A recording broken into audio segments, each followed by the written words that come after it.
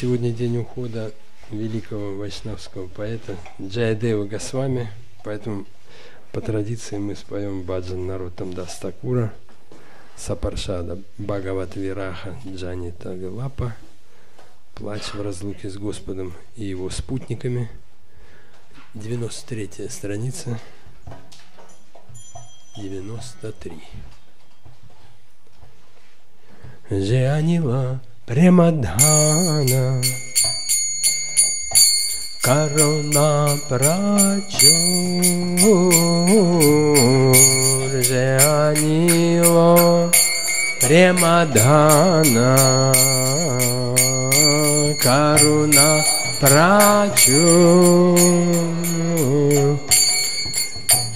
जयानी प्रेम धान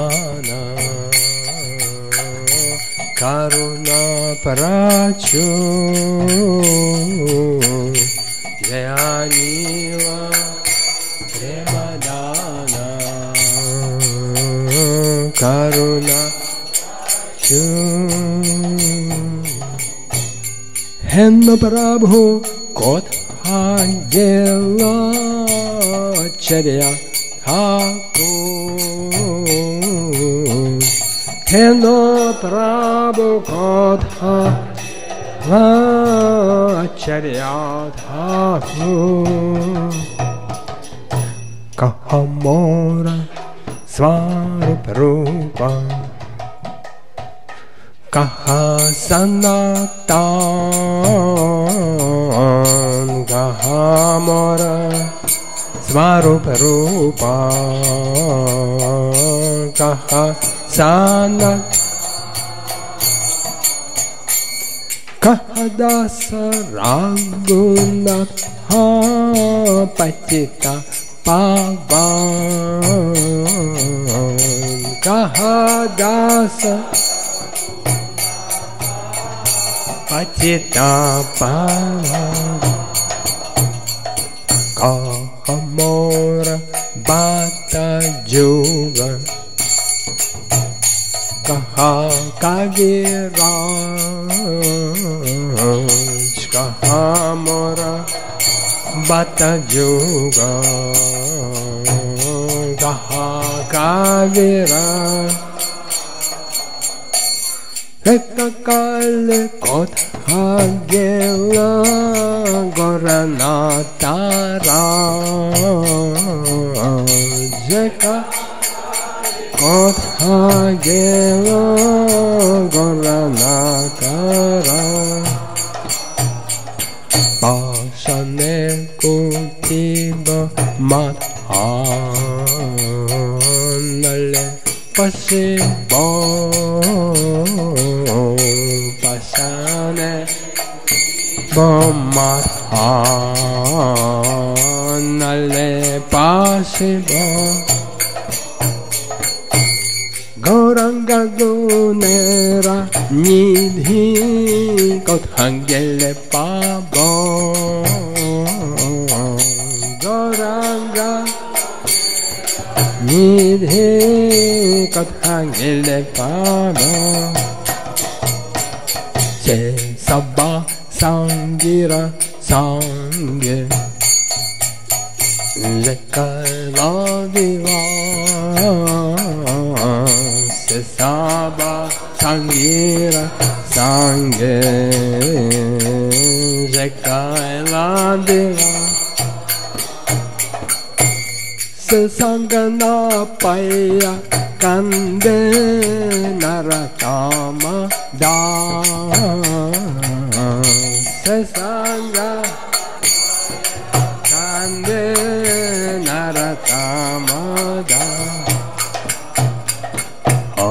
Krishna Hare Krishna. Krishna Krishna Hare Hare. Hare Rama Hare Rama. Rama Rama Hare Hare. Hare Krishna Hare Krishna. Krishna Krishna Hare Hare. Hare Rama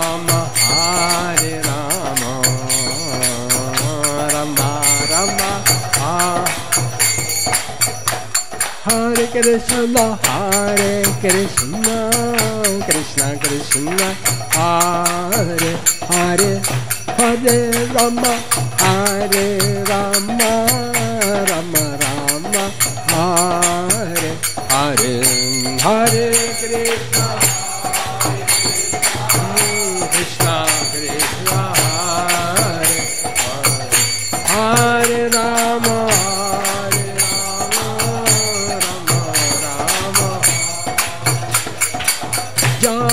वैष्णव ठाकुर वैष्णव ठाकुर वैष्णव ठाकुर जय, वैष्णव ठाकुर जय।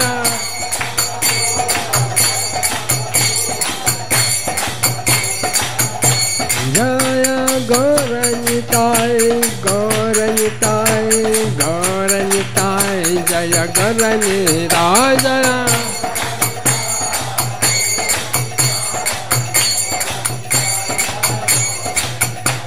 जय जगन्नाथ जय जगन्नाथ, जय बलदेव, जय सुभद्रा, जय जगन्नाथ।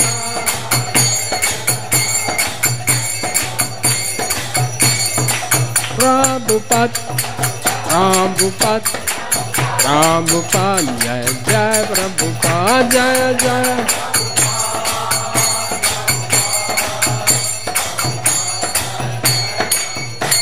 Гор Премананди, Кришна Киртанаки, Шри Джайдев Госвами Тирубхав Маха Махотсава Ки, Грантарат Шримад Бхагаватам Ки, Ом Намо Бхагавате Васудевая. Я при исполнении.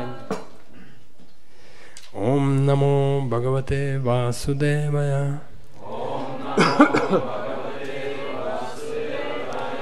Ом Намо Бхагавате Васудевая.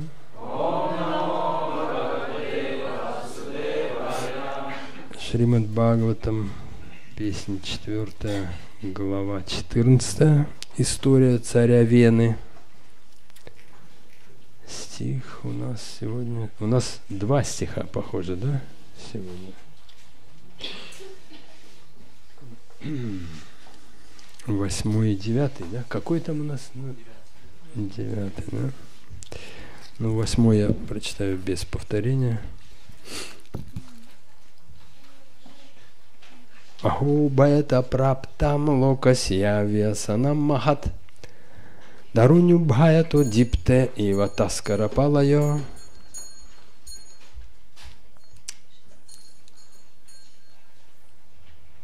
Шри Джаганат Балада Субадра Майки, Шри Шри Горнитайки.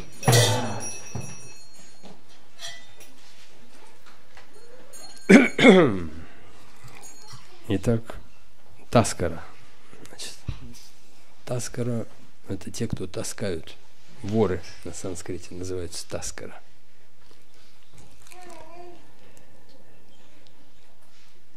Великие мудрецы, посоветовавшись, пришли к выводу, что опасность угрожает людям с двух сторон. Народ оказался в положении муравьев на полене, охваченном пламени с обоих концов. С одной стороны людям угрожали воры, с другой – разнузданный царь. Бена был разнузданный царь. Довольно редкое, в общем, явление для тех времен. Демонический правитель чистой воды. Но, видимо, в семье не без урода. Династия, конечно, была славная, но вот так вот получается с потомками. И девятый стих мы повторим по словам. Араджака, Баят, Эша, Крита, Раджа, Ататархана, Тата, Апи, Асит, Баям, Ту, Адя, Катхам, Сят, Свасти, Дехинам.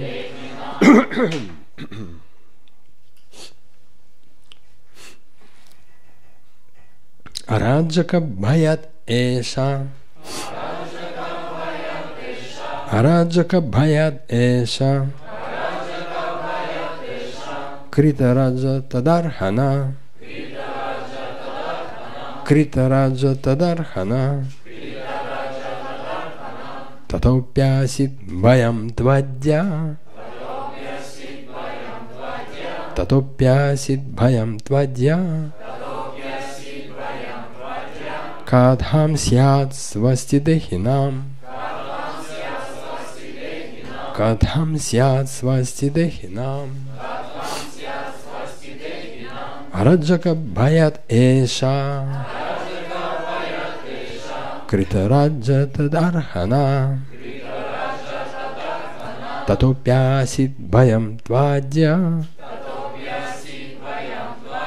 Кадхам Сят Свастидехинам Раджака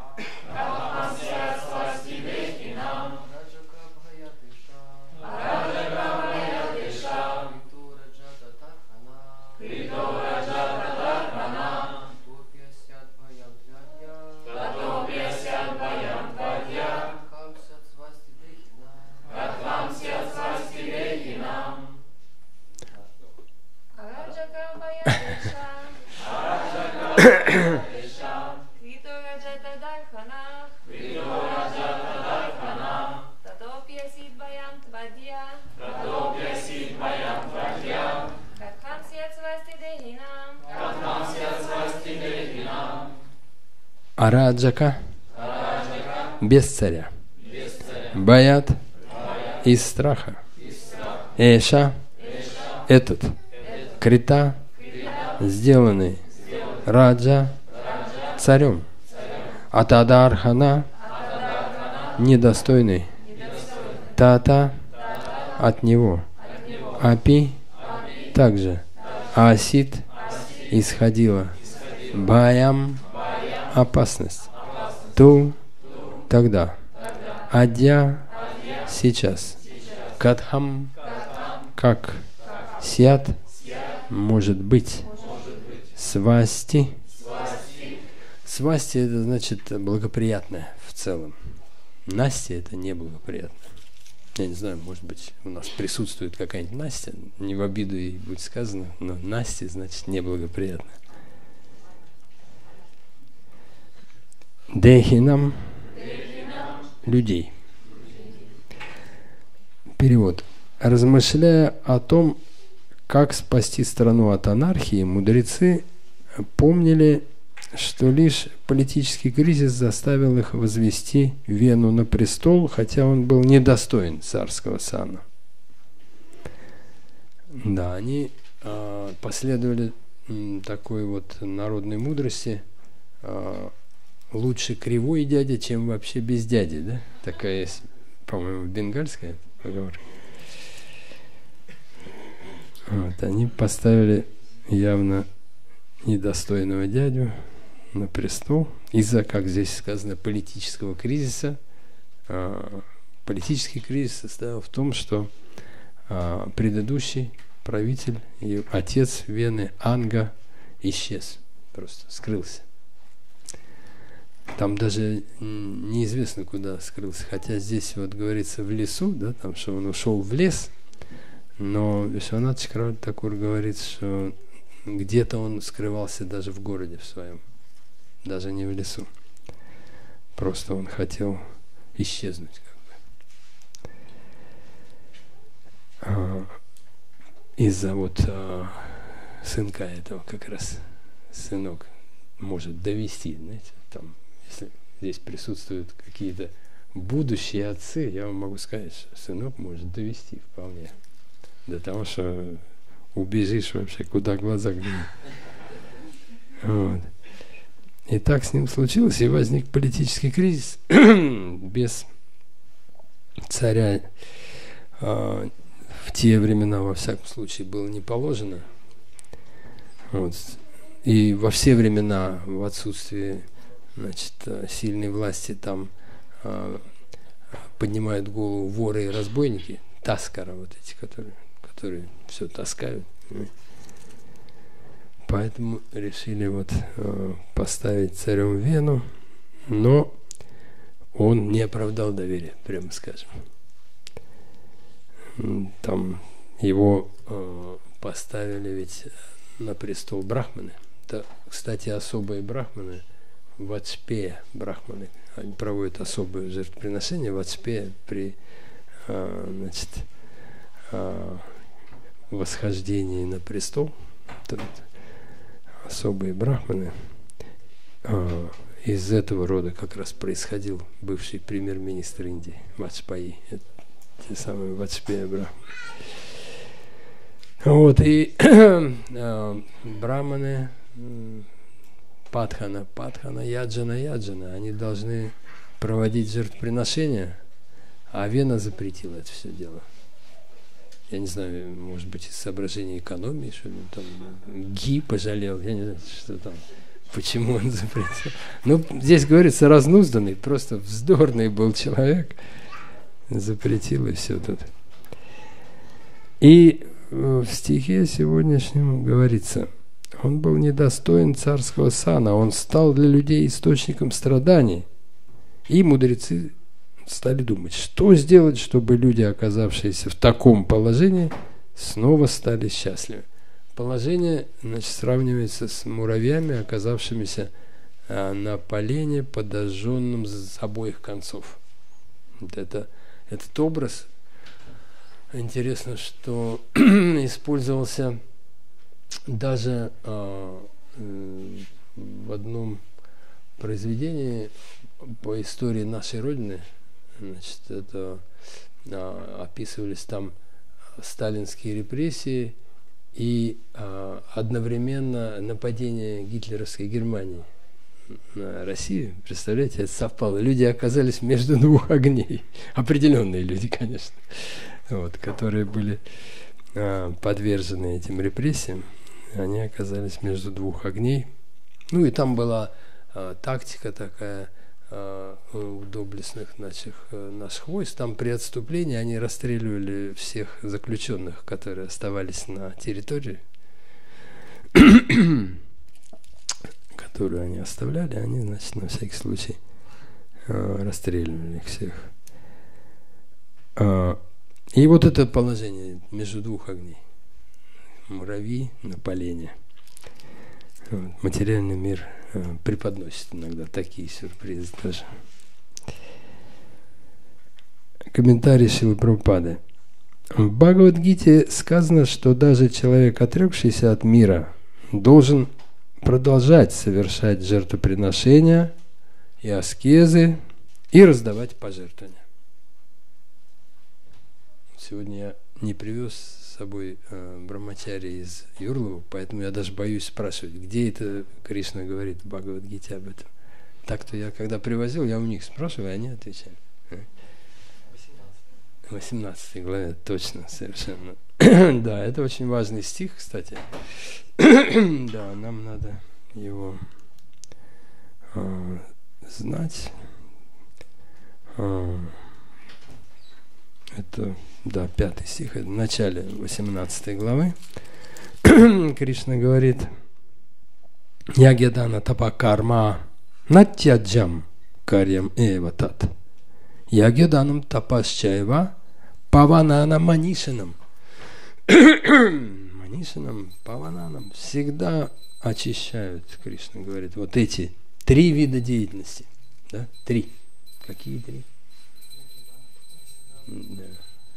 Значит, жертвоприношения, аскезы и Бог, раздача пожертвований. Очень важный момент.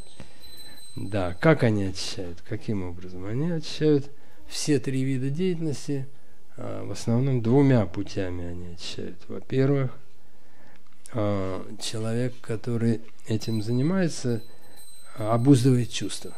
Правильно? Он сокращает удовлетворение своих чувств хотя бы потому, что он часть средств удовлетворения чувств отдает, да, пожертвование или там в ягию, да. Вот. Тапос тоже может так происходить. Вот, что чувства меньше удовлетворяются. Это уже очищение. И второе, это то, что подразумевается не любые на самом деле аскезы, не любые пожертвования, не в низших гунах подразумевается. Вот, а именно а, деятельность а, согласно указаниям Бога, вот как Бог установил, какие нужны там а, жертвоприношения, аскезы, пожертвования. Вот это само следование указаниям Бога уже очищает. Вот. И Шрила Прабхупада говорит в комментарии, как вот эти три вида благоприятной деятельности а, были реализованы а, в Варнашраме, да, в нормальном обществе, они реализуются таким образом, что брамачари совершают жертвоприношения, правильно, как у нас в Майапуре есть ягьяшала, и стопроцентные брахмачари возрасте там, от пяти лет, да, вот, они, значит, там совершают утром яги, да. Это, я надеюсь, практикуется до сих пор, да? Я-то застал это в самом начале фактически. Вот. А, грехастки должны раздавать пожертвования. Вот. Это имеется в виду, конечно, не принимайте на свой счет, это имеется в виду а, семейные люди в системе Варнашермы. Сейчас а, системы Варнашермы нет, и, соответственно, а, что называется, с грехаст взятки гладкий, как бы. Понимаете? Так, может быть, это как раз неимущие слои населения нашего. Э, сход снежных лавин происходит, да? Вот. Ранняя весна в этот раз, да? Что у нас? Глобальное потепление. Вот. И ванапрастхи и саньяси должны совершать аскезы. Кстати, это вот тоже надо иметь в виду, что тапас не обязательно причинение себе каких-то неудобств там, и страданий. Вот мы знаем, э, что тапас э, в действительности имеет другое значение, потому что Кришна в Бхагавадгите говорит, я аскезой творю мир. Да? Это что имеется в виду? Кришна себе боль причиняет, или, может быть, он чего-то лишен, да? живет Кришна аскетично очень там, в Двараке. Нет, это он не, он не лишен ничего и боли себе не причиняет. Вот. И также а, то же самое, между прочим, с Брамой, когда он услышал эти слова «тапа», да, изначально, да, он правильно понял. Прежде всего, он понял, что речь не идет о его тапочках, как вот, когда там приходишь сюда, оставляешь там и думаешь все время, тап, а увидишь ли их при выходе? Вот. Но Брама не беспокоился тогда э, тапочками. И также э, там тоже не было, если вы помните, как это описывается в Бхагаватам, там не было причинения боли какой-то себе там, или лишения, э, лишаться было, нечего практически, да, у Брамы не было вообще ничего. так.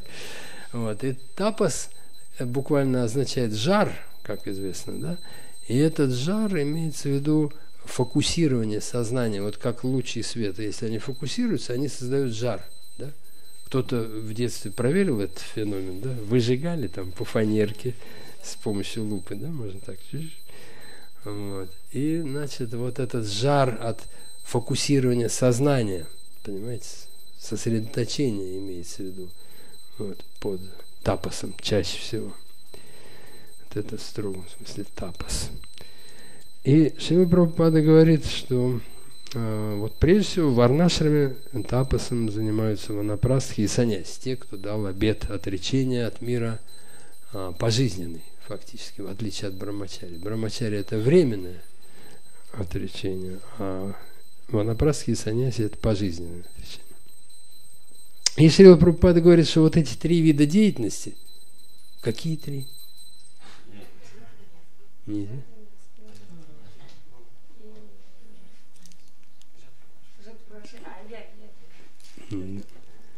Да, вот эти три э, вида деятельности позволяют осознать свою духовную природу. Вот в чем очищение, собственно, происходит, да, вот что когда э, чувства э, ограничены, да, в этом своем стремлении, вот, к объектам чувств, э, когда человек следует указаниям Бога, ему Э, естественно, легче осознать свою природу, э, как кого? Какую природу? Как слуги, совершенно верно. Вот. Потому что если чувства э, удовлетворяются без ограничений, то это скорее положение господина, чем слуги, согласитесь. Правильно? Если никаких ограничений не, не ставится там, да, то значит я господин. А если уже ставятся ограничения, это ближе к положению слуги. И также следование указаниям Бога. Вот человек как бы свыкается вот с подчиненным положением своим, положением слуги. Дживера свару пахоя Кришна Нитя Дас, сказал Господь читания. Это вечная природа, вечный слуга, понимаете? Тоже интересный такой момент, что на самом деле мы вечные. Но мы вечны именно в качестве слуг. А если мы, значит, решили, что мы господа, то этому скоро придет конец. Вот это надо иметь в виду. Значит, а, когда Вена наложил запрет на жертвоприношение и другую духовную деятельность, это встревожило мудрецов и святых, ибо они понимали, что царь лишил людей возможности духовного развития. Проповедуя сознание Кришны, святые и преданные стремятся спасти человечество от вырождения и деградации до уровня животных. Да, это поясняется, в чем вырождение состоит деградация до уровня животных, на самом деле э, там нет э, ограничений в этой деградации, и мы видим, что люди деградируют ниже уровня животных. Там нет такого, что только до уровня. Вот. Правительство обязано помогать этим святым и мудрецам. Заботьтесь о том, чтобы люди действительно следовали религии – и другая обязанность правительства – это держать в узде воров и разбойников. Тогда ничто не будет мешать людям спокойно заниматься духовной практикой и достичь высшей цели человеческой жизни. Да, вот это а, Шила упомянул здесь а, традиционное понимание функций а, правителя. Да? Там два момента можете записать. Это палана и анушасана. Да? Палана – это покровительство законопослушным гражданам, и анушасна – это наказание незаконопослушным. Вот эти две функции. Но э, мы знаем, что в Бхагаватам э, приводится больше э, функций кшатрия, да, и в частности есть такой интересный момент в пятой песне Бхагавата так довольно неожиданно он возникает там этот момент в голове потомки Приобраты. Казалось бы, там просто генеалогия царей, да, перечисляются, кто кого сменил, довольно скучно это выглядит. И вдруг внезапно посреди этой генеалогии, а, вот, чтобы читатель проснулся, видимо, да, у нас это тоже актуальная задача сейчас. Вот, и, значит, а, можете записать, это тоже важный стих, 5, 15, 7. И там описывается Махарадж Гая, один из потомков славного Приявраты. Вот. И в этом стихе говорится, что он вот эти две функции выполнял очень хорошо. Палана, прям там так и говорится. Вот. Но там, кроме паланы, там еще ряд функций упомянут. Причем много функций. Я не знаю, может быть, санскрит это слишком тяжело бы. Ну, по посмотрим. Значит, смотрите, какие функции нормального правителя. Значит, а, вот эти две, прежде всего, значит, покровительство законопослушным, их защита, охрана, как бы буквально, так? А, прямо охрана собственности этих законопослушных людей. А также он следил за тем, чтобы у всех а, была еда. Это называется пошана. Пошана такая одна из тем Шримад Бхагавата. Пошана, значит, как бы питание Пошана. Вот. Иногда он раздавал подданным дары. Это тоже полагается, значит, как бы премии, да, там пошена это как бы зарплата, а, а премии называется принана. Принана имеется в виду, чтобы просто доставить удовольствие, чтобы. Иногда он э, собирал подданных и радовал их сладкими речами – это тоже входит в обязанности царя и называется Упалалана.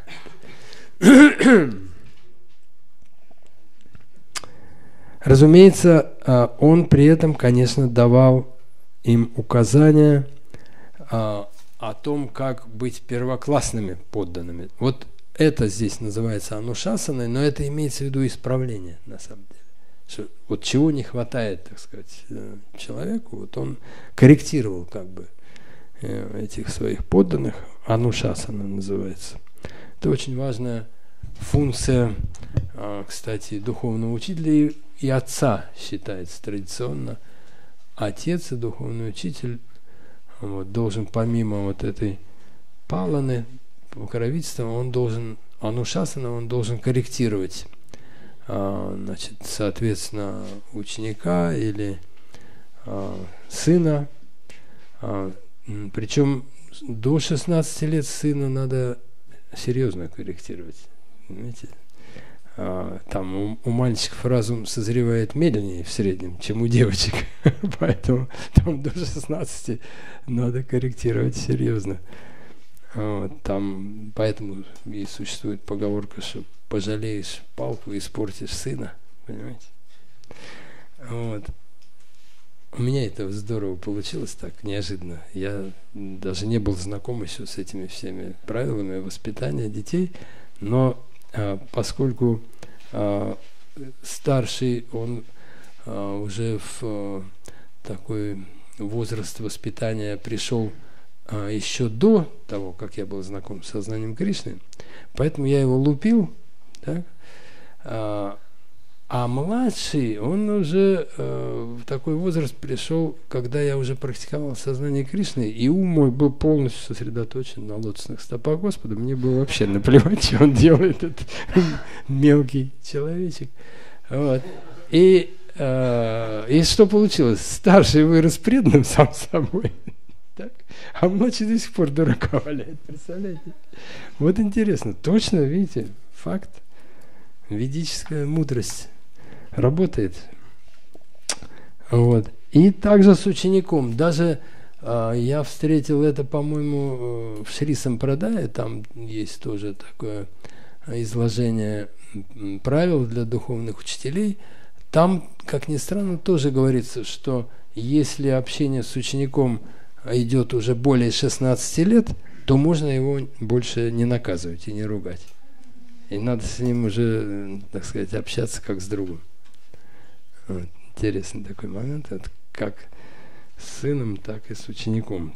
И это очень важно а, за духовным учителем признать право на наказание, на значит, резкие слова. Это очень существенный момент. Это может быть даже э, критерием выбора гуру, да, потому что гуру это должен быть э, такой человек, от которого мы готовы принять все.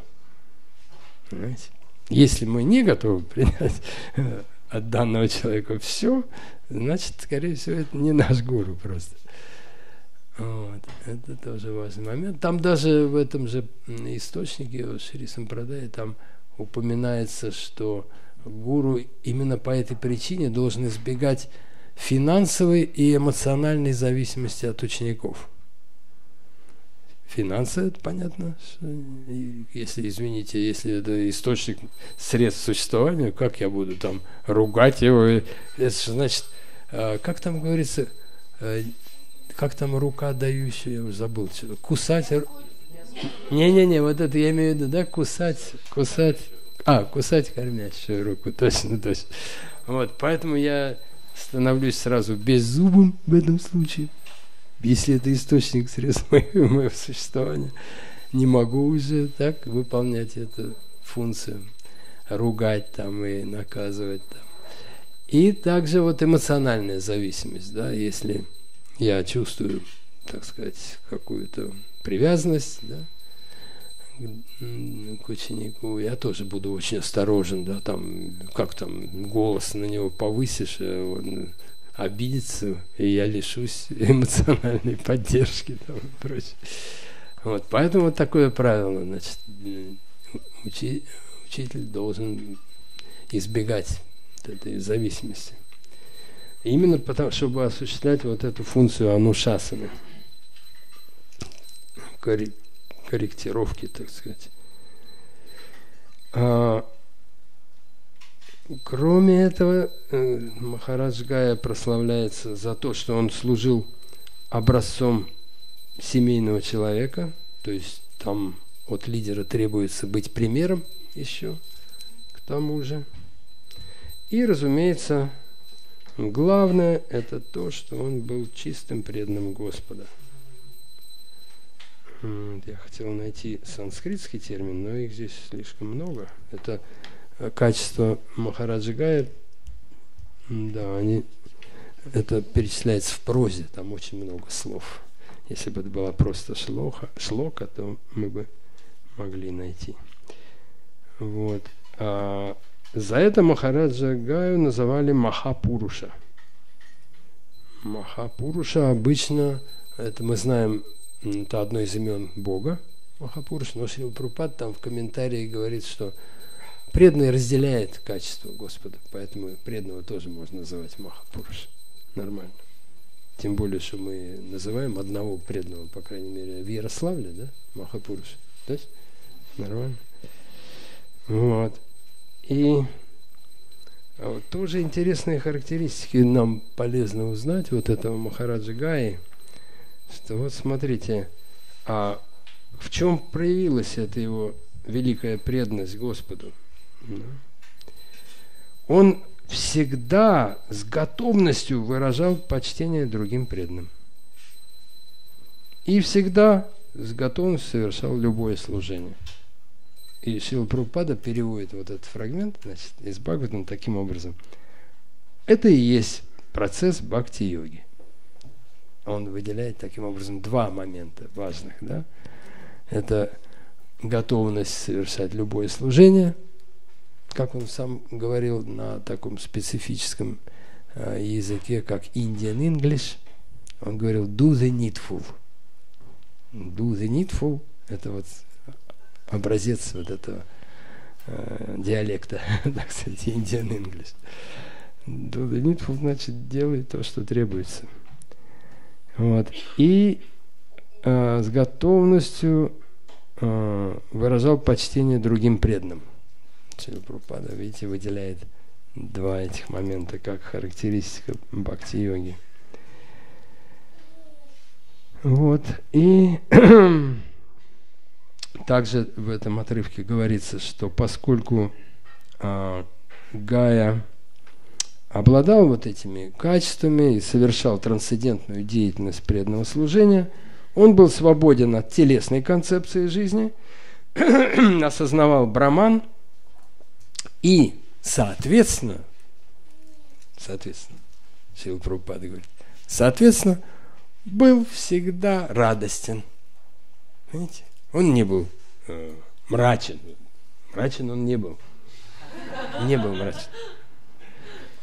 Я помню, э, Видуру Прабу нам тоже описывал вот эти э, значит, качества э, и говорил, что если видите, какой-то тут преданный ходит, угрюмый, мрачный, знайте, мошенник и негодяй. Видите, у преданного вот такое здесь качество подчеркивает Шила Прабхупада. Так. И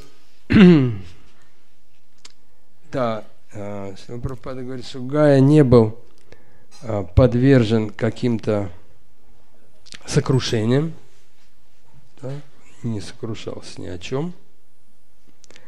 И хотя был фактически совершенен во всех отношениях, не гордился и не был привязан к положению царя. Вот вам идеальный кшатрий древних времен.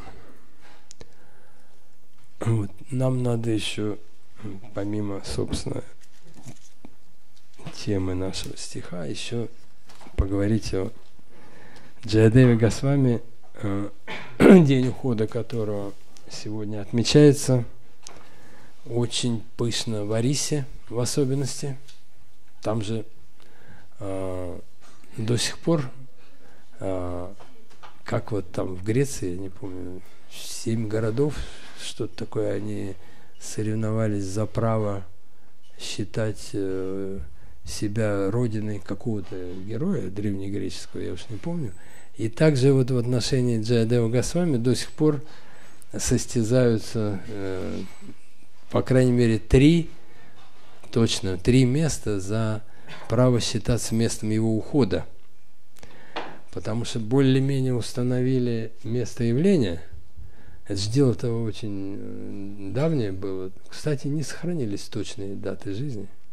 Вот просто известно, что он э, творил э, в эпоху правления э, такого царя Чода, Ганга. Ганга там была династия в Арисе. Цари, которые назывались Гангадев. вот и Чода Ганга, это э, он правил с 1078 по 1147. То есть фактически это считается, что Джайадев Госвами жил где-то в начале 12 века, за 300 лет до Господа Чайтания.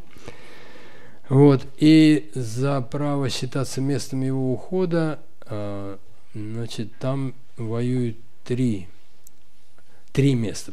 Первое место, естественно, это Вриндаван, потому что есть такая версия, что когда он почувствовал, что пора уходить, он ушел во Вриндаван. Это тоже такая, в общем, типичная вещь для э, индийских брахманов, во всяком случае. Да? Брахманы, они стараются оставить тело во Вриндаване.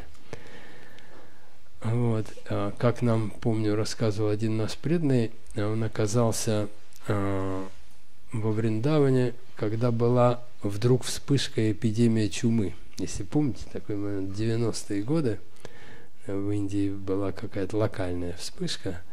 Вот. И э, он рассказывал, как эти Э, зачумленные стекались во Вриндаван, чтобы там оставить тело. Вот, и они были там на каждом шагу, и однажды утром он проснулся и почувствовал, что у него болит горло, и подумал, ну вот, и я тоже очумел. Значит, также думали о Джайдеве Госвами, что он ушел во Вриндаван, но больше конечно, э, больше свидетельств о том, что он ушел все-таки в Арисе. Шрила Бхактидан Сарас Такур считал, что он ушел именно в Пури, поскольку э, у Джайдева Госвами были особые отношения с Господом Джаганатхой. Вот почему надо вам сегодня здесь отпраздновать э, его день ухода, потому что он был любимец Господа Джаганатхи, Джайдева Госвами. Вот. И а, третье место – это его родная деревня, тоже в Арисе, кстати. Сейчас она называется Кендули. Это деревня а, Кендубилва она называлась на санскрите в свое время. Вот, сейчас она называется Кендули. И, соответственно, день его ухода отмечается в Арисе Нагара Санкиртаной – поскольку считается, что Господь Чайтаня в бытность значит, свою в Арисе совершал регулярную Нагарасамкиртну по маршруту, по которому сейчас идут люди в день ухода Джайдева Госвами. Маршрут это от храма Анантова Судева в Буванешваре. Так? И они идут в Пури из Буванешвара по маршруту Балакати, Кендули, вот это, родная деревня Джайдева Госвами, и Канарк. Вот такой маршрут у них из Буванешвара до а, Джаганатхапури. Вот. И, а, значит, а, в жизнеописании Господа Чайтани,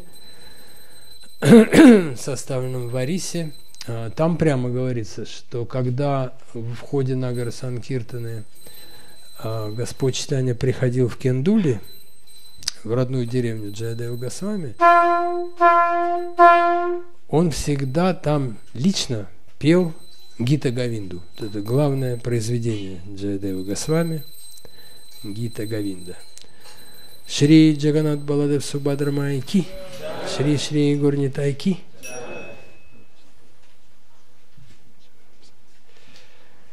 Вот.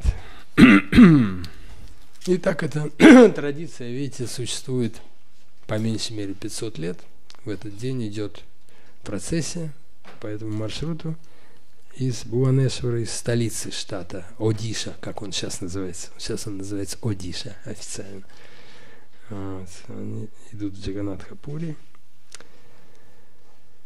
Традиционно также считается, что день явления э, Джадева Госвами – это Акшая Трития, такой заметная дата в календаре вайшнавском.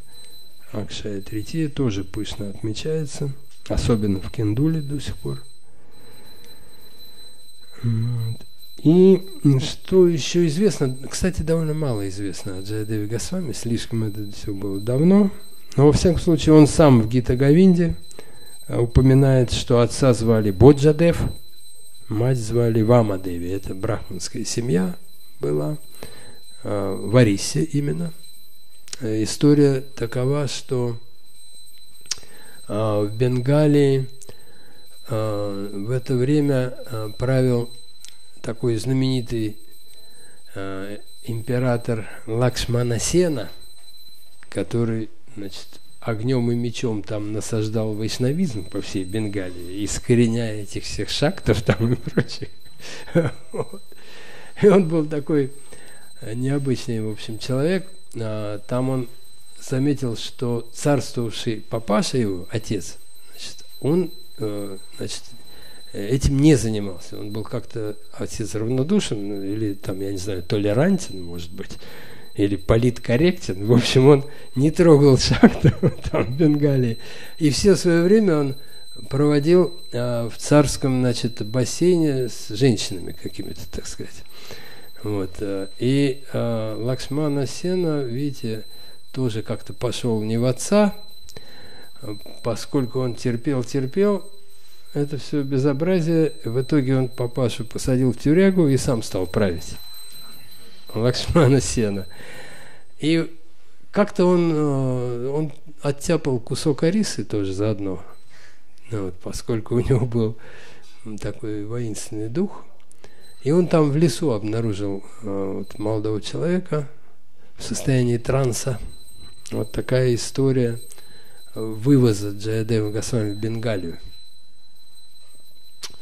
Так он оказался в Бенгалии, он его сделал придворным пандитом там в Бенгалии, но через какое-то время э, Джаядева Госвами ушел в Джаганатхапури. И там, э, конечно, очень интересная история – смены ашрама. Вот как надо ашрам менять там. Да. Значит, что был Брамачари вроде, да? Он как Брамачари пришел а, в Джаганатхапуре, там славил Господа Джаганатху и жил под деревом баньян.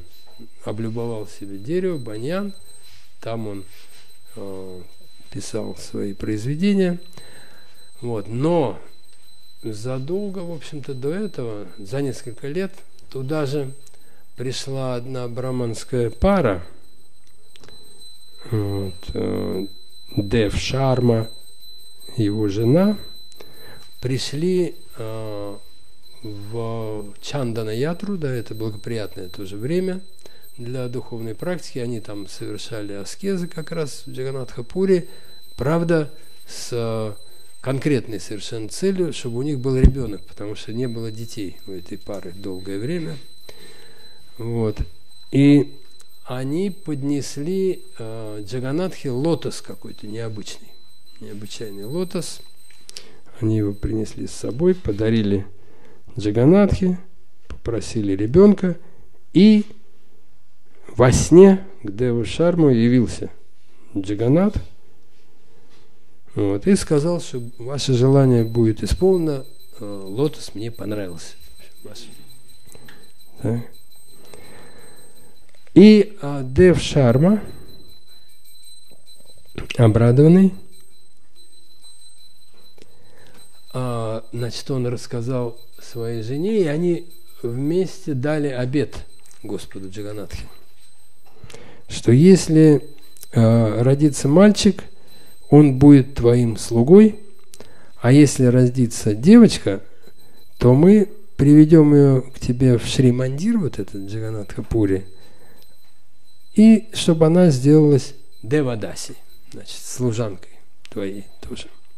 Девадаси – это э, в традиции это э, девочки, выданные замуж за Джаганатху, строго говоря. Он считается их мужем. Вот. Э, это как бы его гарем Джаганатхи. Вот. И они обещали, значит, э, дочку отдать. И так оно а, и случилось, значит, родилась девочка, и поскольку они поднесли Джаганатхе Падму, лотос, да, поэтому девочку они назвали Падмавати. Вот, и они, как и обещали, привели ее а, к храму Джаганатхи, вот, в Пури. Но первая же ночь, которую они провели там, в Пури, Опять Господь Джаганатха явился Дева Шарма во сне и сказал, что Падмавати надо отдать не ему, не Господу Джаганатхе, а юному брамину по имени Джаядев, который сидит под баньяном конкретно. Это было, конечно, для родителей несколько неожиданно, потому что э, вот просто так отдать э, девочку под баньян – Понимаете? В смысле, ну, то есть ни квартиры, ни стиральной машины, соответственно. Просто э, как бы муж сидит просто под баньяном, и он-то доволен, как бы. Он счастлив, так? Вполне. Вот. Но, тем не менее, Дев Шарма был м, такой серьезный, преданный, поэтому он привел девочку к изумленному Джая Деву. Вот. Тот ему сказал, что он не собирается жениться – на что Дев Шарма заметил, что а, это приказ Господа Джаганатхи, его просто надо исполнять, не рассуждать. Так? И ушел, главное. Оставил дочку, значит, там э, с Джаядева. И Джаядева, конечно, первым делом предложил девочку э, отвезти, куда она захочет. Так? Но Падмавати сказала, что нет, Брамин, она сказала, ты теперь мой хозяин, ты для меня все, и если ты меня не примешь, я прямо сейчас у твоих стоп расстанусь с жизнью. И после этого, конечно, пришлось, значит, ему признать себя мужем, и так вот он сменил ашрам таким образом. Вот это а, как бы считается такой хороший вариант. Понимаете, что по приказу Господа это нормально. Вот. Подчинение воле Господа, мы уже говорили об этом, э, очищает и приближает к достижению цели жизни. Вот, к сожалению, время наше уже истекло. Конечно, в жизни Джайдева Госвами было множество чудес, и э, его это произведение Гита Гавинда – это уникальное явление в литературе мировой.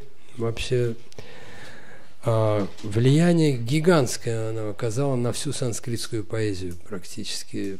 Джайдева э, считается э, как бы как там э, рага мурти, олицетворение мелодизма. Так.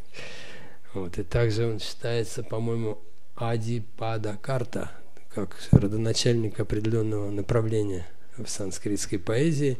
И э, это влияние при, с прямым цитированием, кстати, Гита Гавинды ощущается и в Бенгале, и в Арисе. И в бенгальской поэзии поэты там тысячу лет цитируют э, Гита Гавинду. И в Арисе. В Арисе там, конечно, культ просто Гита Гавинды, потому что раньше была традиция до недавнего времени, может, даже вы застали традицию, когда для Джаганатхи специально а, ткали вот этот Э, как бы чадр такой бесконечный, и там ткацкими узорами была набрана Гита Гавинда. Вы видели такую штуку, да? Это, по-моему, они как-то прекратили в какой-то момент, потому что а, там, знаете, э, чтобы понять, что такое современный Джаганатхпури, стоит вспомнить, вот я, по-моему, рассказывал уже даже, как наши преданные там договорились, что просад Джаганатхи они к обеду получат. И они сидят, ждут, Э, время идет, просада нет, уже стемнело, темно уже вообще. Наконец приходит этот брамин э, с Джаганатха просадом, они у него спрашивают, что так поздно? А он им отвечает, Калиджуг. Калиджуг, а, Ория, да, вот эти, они так выговаривают, Кали-юга, Калиджуг.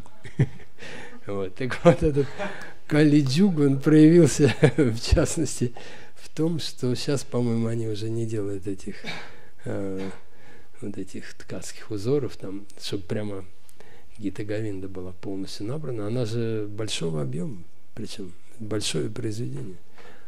Фактически даже мы вот э, э, на Ресимах Киртан мы же поем оттуда, потому что, да, потому что это Даша Аватара Стотра, она является как бы такой мангал-чараной вступлением в Гита Гавинду. Вот это а, совершенно выдающееся произведение. Единственное, что а, оно представляет собой литературу Расика, потому что это в основном тема это а, развлечение Кришны с Гопи. И поэтому, когда Бхактинан Сарас Такур спросил, вот он хотел два произведения такого рода издать, Гита Гавинду и э, Гавинда Лиламриту Кришнадаса Кавираджа Госвами. Кришнадас Кавирадж, он еще до того, как написал Чайтани Чаритамриту, он уже считался великий поэт, благодаря вот этой Гавинде Лиламрите. И Бхактинан Сарас Такур хотел их издать и спросил у своего отца, Бхактинан Такура, какой тираж. Тот ему говорит, да, один экземпляр сделай для себя. вот и весь тираж. Вот. Да, ну, со временем, так сказать, по мере очищения, может быть, мы сподобимся тоже. Сейчас, видите, этот Калиджук, он проявился в том, что а, все стало доступным. Вот, и это э, Гита Гавинда в полном объеме есть на английском уже, а, и даже на русском. Русские индологи тоже упражнялись, советские индологи еще в советское время, я помню. До сих пор помню. Кришна с пастушками пляшет весною хмельною, невыносимый для тех, кто в разлуке весною. Советские поэты переводили Агита Говинду, представляете? Вот. Но, э, значит, э, понять что-нибудь, это, это требуется уже значительное очищение, поэтому не стоит торопиться в этом плане. Э, Шри Джадав Госвами Тирубав Махамахамахотсава Ки. Грантарат Шимад Бхагаватам Ки. Srila Prabhupada aqui. gor Premanandi.